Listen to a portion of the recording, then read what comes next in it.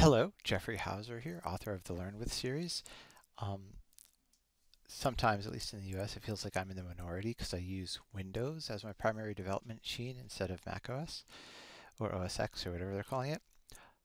But it's the devil that I know and it just works well for me and there's very little that I can't do within Windows that I can do on a Mac, at least for the context of um, single page application development with Angular or other tools.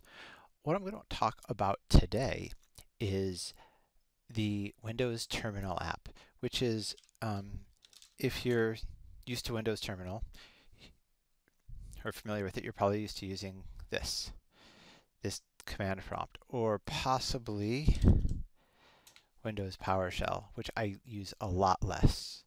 Um, primarily I use this. It's simple, it works works for what I need, whether it's Docker images or node commands, or jumping into WSL, which I don't have installed in this machine, but I do use sometimes at work.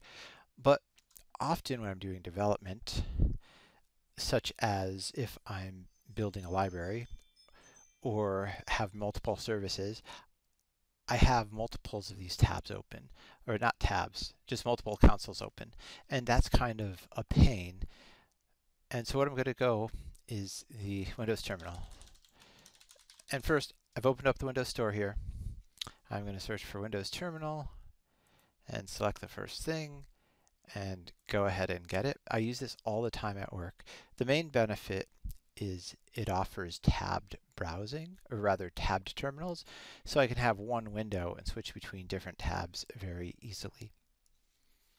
And let's open it up. And boom, there it is installed. I'm going to use this video to go through various different things that you can do to set up and use the terminal. I'm going to start by drilling into settings. So you see up here, use the down arrow and settings. Startup, since I don't use PowerShell as my default, I'm going to switch that to command prompt. So when I open this, it immediately goes to the command prompt. I don't need to launch it on machine start. I'll go over not every setting in here, but some of them. When terminal starts, open a tab in the default profile. That's pretty much what I want. Don't want to keep the previous session open. Launch mode default. Actually, I'm going to switch to maximized because I like it maximized when I launch it. Um, full screen. New instance behavior is definitely create a new window and new instance I believe is creating this plus sign to create a new tab. launch size. Um, I'll just use the default here. But so save. Let's keep going through. Interaction, automatically copy selection to click, copy selection to clipboard off, text format when copying. I'm actually going to switch this one to RTF. And this is primarily um, for my, my book writing. It might I might be able to get another some extra formatting if I copy and paste commands from this into my book, my um, which I write in Word. So I want to go on to say that when I originally set this up on my work machine many, many moons ago, most of it was all in a JSON file, which we'll look at later. So this whole um, setting screen is pretty new to me. It's pretty awesome which means I haven't updated in a long time. Or if I have, I haven't tried to uh, fix the settings. Remove white spacing, don't care about that. Word delimiters, don't really care about changing that. Tab switcher interface style.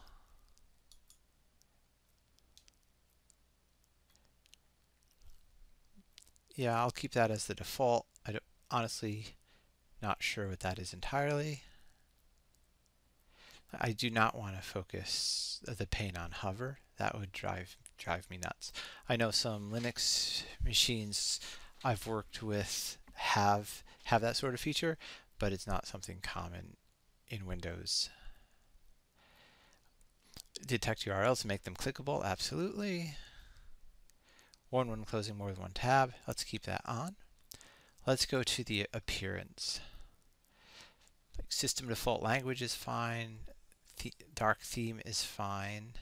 Position of newly created tabs after the last tab makes sense to me. It probably has after the current tab. Uh, after the last tab makes most sense to me. Hide title bar. I I don't think I want to hide the title bar and I want to always show tabs.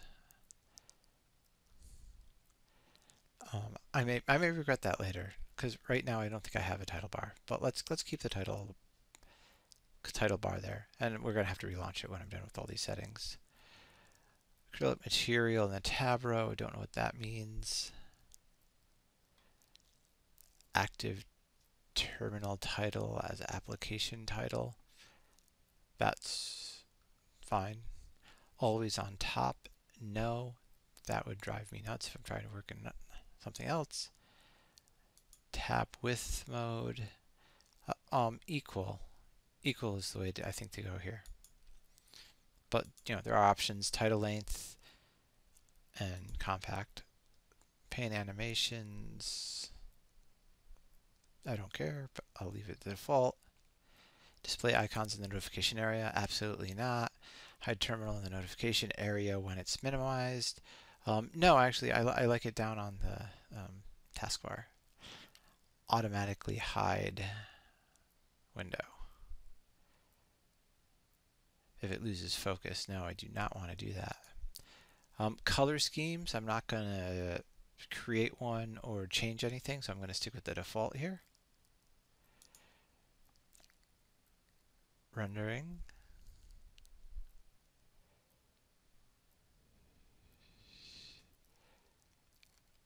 Um, I'm going to stick with the defaults. It looks like I'm not going to deal with this new text rendering engine. I don't know what that is. And I don't want to deal with any performance issues for my, my sort of usage. Actions, I think we can edit these. These are just a lot of um, default key key commands, default key commands. Um, but let's go to profiles, and I'm going to start with the default profile. There's a few things I definitely want to change here. Um, so, starting directory, actually, yeah, I'm going to go to my projects um, LW directory. That stands for Learn With, my book series. Because um, most of the time when I open this up, I'm going there, either there or my blog directory, because I'm doing a sample for my blog. So let's just swap that um, to sort of my root project directory and I'll, a few fewer commands that I'll need. Don't care about the icon, tab title.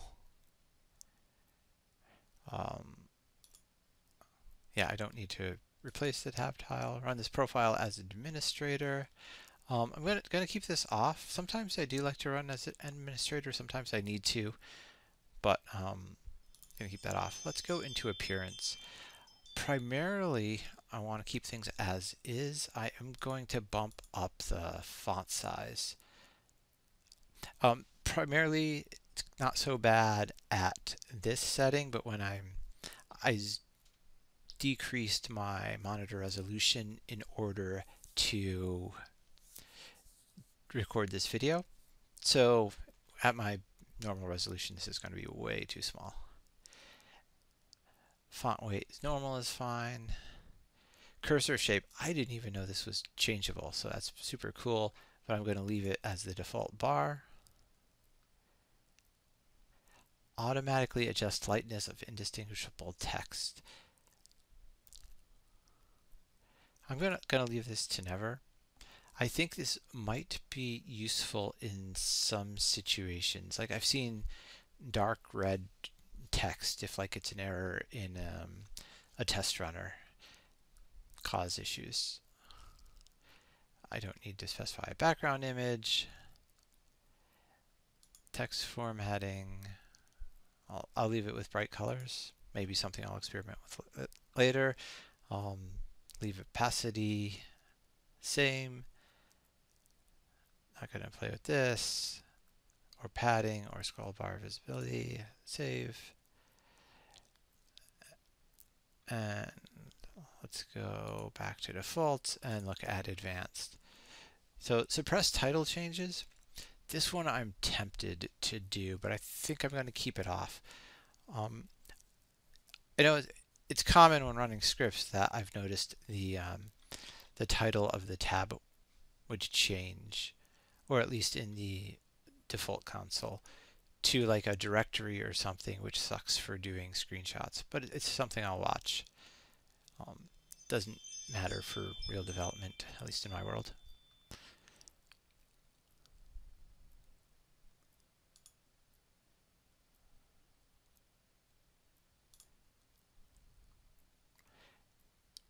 This is, it. I've never actually had a tab close automatically. I'm going to keep this to automatic. I may come back if I'm having issues with tabs just closing and I have no idea why.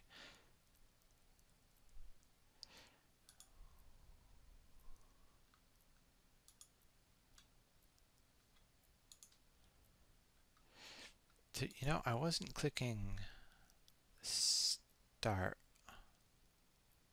but it looks like it was saving my changes as I went along, so that's good.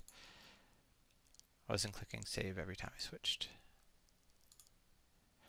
Yeah, and we have a bunch of profiles here. Um, one thing I noticed, super weird, these seem to be, oh, actually it's for 2017 and for 2019. So these are the same. I don't actually use um, VS Code because I'm primarily an IntelliJ boy. So not going to delete those though. And and I don't know what legacy is or how this is different um, than just the default command prompt, which is primarily what I want to do. Uh, nevertheless, I think I've done everything I want to do. I'm going to save. I'm going to close. I'm going to open a new tab, which put me in the command prompt in the right location. You will notice um, I used this plus button to create the new command prompt. I think I showed that a bit earlier.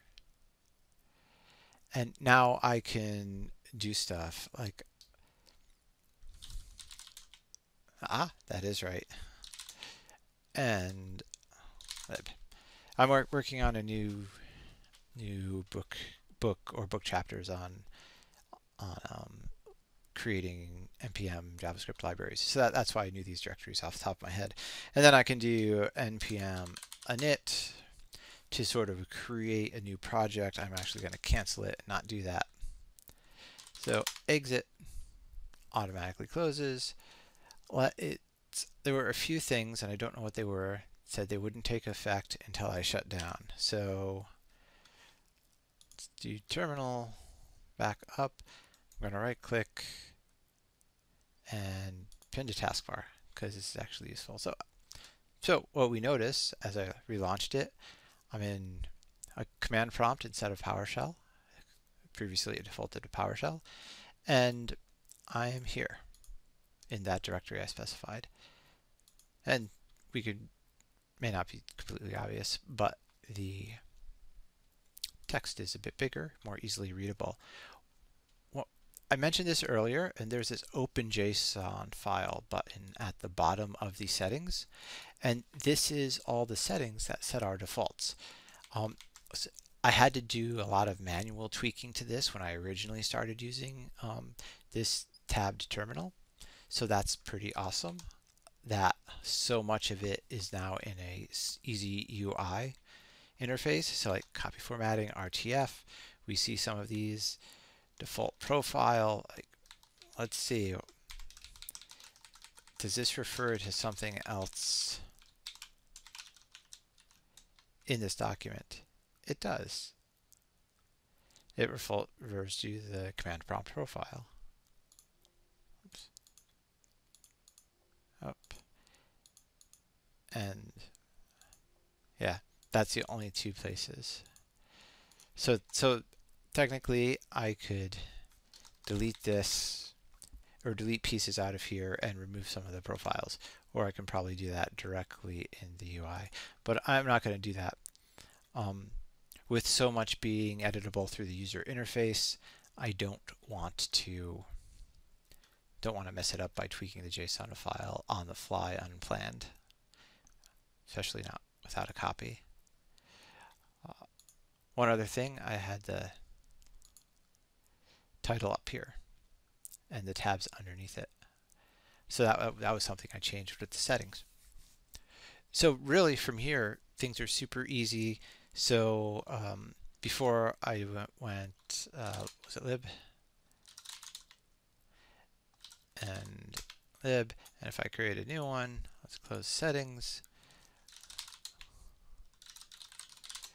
So now it's super easy for me to have two commands. Um, command prompts open, one for sort of my cons consumer, um, basically that would be an npm project for creating, for consuming a lib, for using a library, and another for creating the actual library, which is, but it's often at work in my day job, I'll have multiple tabs open, each for different projects that I'm working on, often projects that work together in some form of microservice set, setup. So with that said, there's actually, once you get it, once you understand the tabs, which if you're looking at this as a developer, you probably understand what tabs are and use them all the time in your browser. Um, I love, I've really grown to love this as part of my tool set.